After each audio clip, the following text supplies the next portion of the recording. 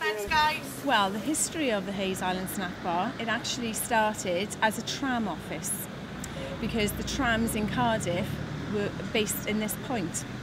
Um, and then it became a postal office by 1921 and by 1948 it became a cafe that we know now. Um, and we were very fortunate in taking the cafe over in October 2013. when we looked at the Hayes Island Snapper, we basically decided it needed a complete overhaul with regards to it needed to have a cosmopolitan feel. The city is very vibrant, it has many, many visitors, and we felt that this was a little bit of an eyesore and we could actually improve it.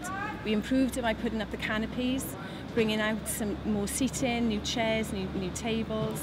We actually repainted the Hayes itself we reformulated inside so we could actually serve more food, more drinks, um, and actually try and make it far more pleasant by adding the flowers up on the roof, um, cleaning it every single morning, making sure it's a nice, clean environment to sit down with your coffee and watch the world go by.